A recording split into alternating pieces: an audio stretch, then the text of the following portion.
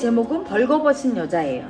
되게 아름다운 꽃인데 밑에 물감이 마르기 전에 위에 흘림체로 그려봤어요. 그래서 뭔가 되게 자연스럽고 옷에 걸치지 않은 완전 완벽한 자연의 모습. 편안하고 자연스럽고 아름다운 모습의 표현을 한번 해봤습니다. 부끄럽고 수치스럽고 이런 마음이 없이 그냥 태어난 본래 그대로의 모습. 벌거벗은 여자입니다.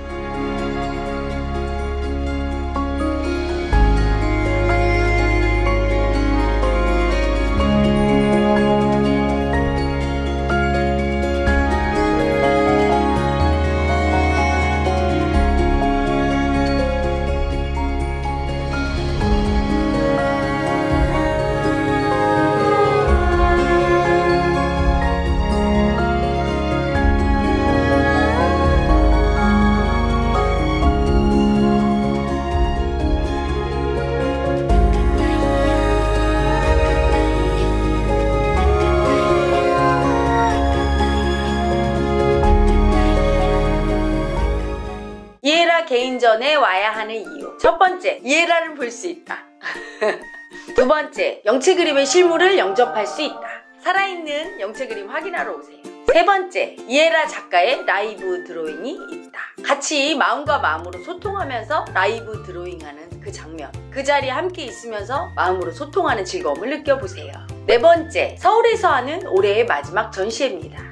이제 다시는 안 올지도 몰라요. 내년에도 후년에도 안 올 수 있어요. 이제 정말 마지막. 다섯 번째, 재미있고 다양한 이벤트가 준비되어 있다. 보통 전시회와 다르게 지루하거나 그냥 그림 감상만 하지 않고 그림을 통해서 자기의 어떤 마음을 치유할 수 있는지 그림 reading을 해주고요. 그리고 영체 카드, 제 그림으로 만든 카드죠. 그 카드를 통해 여러분의 운세를 봐드립니다. 밤에는 night gallery가 있어요. 그림과 같이 춤추는 건 어떤 느낌일까? 또 live drawing을 통해서 화가와 함께 같이 그림을 그리는 재미를 만끽하실 수 있습니다. 그림뿐이 아니라 이혜라 작가의 노래 실력도 볼 수 있어요. 그리 잘하지 못해도 사랑으로 아픔으로 같이 하는 노래를 즐길 수 있습니다. 어디서도 볼 수 없는 art show 마음이 살아있는 세상. 마음이 담긴 그림은 살아있다. 그림이 살아있는 걸 실존하는 걸 생생하게 확인해 볼 수 있는 현장. 이혜라의 전시회 5월 3일부터 5월 13일까지 모나코 스페이스에서 열립니다. 여러분 많이 많이 오셔서 마음이 정말 살아있고 그 마음 속에서 노는 것이 얼마나 재미있으며 몸과 마음을 치유시켜주고 생생하게 우리와 함께하는 그림의 세계로 빠져보세요 예술의 세계로 풍덩 뛰어들어 보세요.